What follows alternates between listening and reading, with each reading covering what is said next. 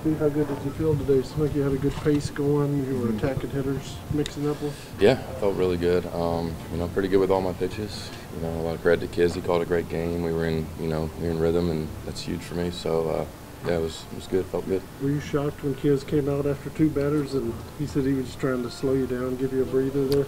Uh, yeah, I wasn't sure what he was going to say, and you know, it was it was a pretty uh, pretty good move. You know, definitely after those two long first batters, you know, get a little breather, and uh, yeah, it was uh, it was pretty cool for him to do that. Steve, for you, how important is that keeping that pace, not just in a game, but Mm-hmm. when you have runners on base, like Mhm. kind of maintaining the same kind of tempo? Yeah, I think that's important. Um, you know, and just kind of staying at them and not kind of laboring out there. You know, even if you got runners in scoring position, um, just kind of staying with, with your stuff and you know executing a pitch and keeping that um, you know keeping that rhythm of the game.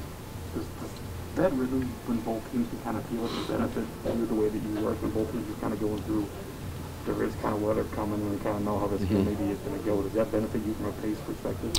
Uh, I'm not sure. I mean, I like to work fast and get in the rhythm. So if that's you know if the weather causes that, then yeah, sure. You, I mean, you were ticked up a little velocity-wise today. Is that, did you feel that? Did you notice that at all?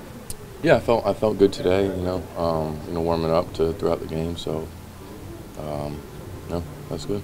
You're not facing Greinke anymore, but is it fun matching zeros with- against a guy like that?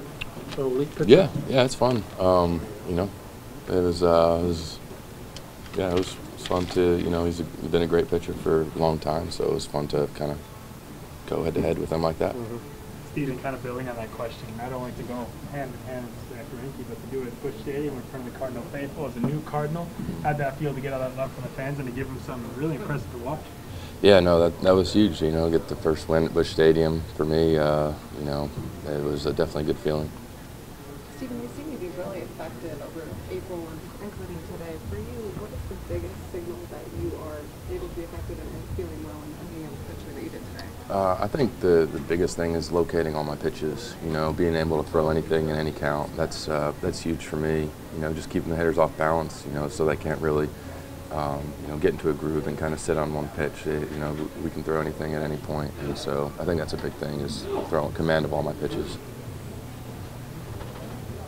Seems even pretty early on that you have a feel for your pitch. Like, is that something you get in the bullpen? Or? Um, the bullpen never really translates for me. You know, it's just a different adrenaline. Um, you know, I'm just kind of feeling the body out, get, feeling good in the delivery. But um, as far as the pitches, it, it never really translates. So I probably don't. I don't put too much weight on how the bullpen goes.